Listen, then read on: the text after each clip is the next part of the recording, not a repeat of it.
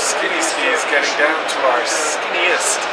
So some people like to call this, since our company name is Fatypus, they call this the Skinny Puss. But it's not really, it's actually called the Be Nasty, as you can see.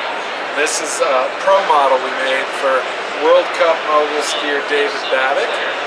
And he is right now waiting to see if he gets a spot at the Olympics up there in Vancouver. I think he's just a couple behind. They only take four guys.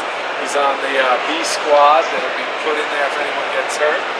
Um, David Babic helped us design B-Nasty, one of the most progressive mogul skis that you can get. It's got a little bit more shovel, as you can see, than your average ski, so you can get through the crud pow if you get an off your mogul course. But light and lightning quick, this ski uh, will win you some gold medals and podiums. Back to a little fatter ski, we have the D-Sender model.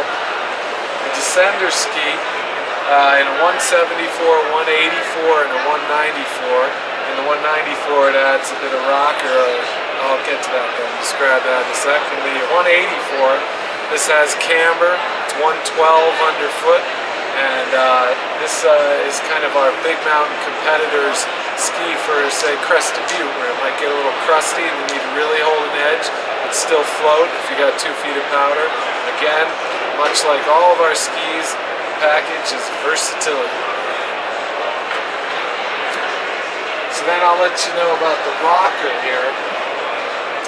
This is uh, the 194 length of the D-Sender. And in both the 190 A-Lotta length, which I described to you earlier of the A-Lotta, and in the 194 length of the D-Sender, we added what's called BMR, Big Mountain Rocker.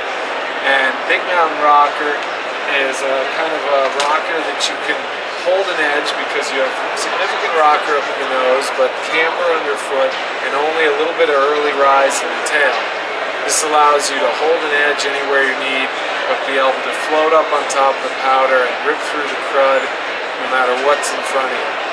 Uh, this we basically made for our big mountain athletes to compete on, but everybody out there loves it, so it's a great seller. And then last but not least, we have the women's models. This is the E-Motion the 174 and 112 underfoot. The E-Motion is light, quick floats in the powder and allows women to ski like they've never skied before, breaking through crud, jumping cliffs, whatever level of aggressiveness they need to get to, they can do it on this ski.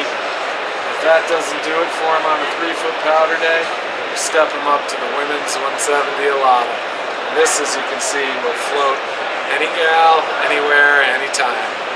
Hope you got, got to know a little bit about Fatypus skis through this and look forward to seeing you out there on the hill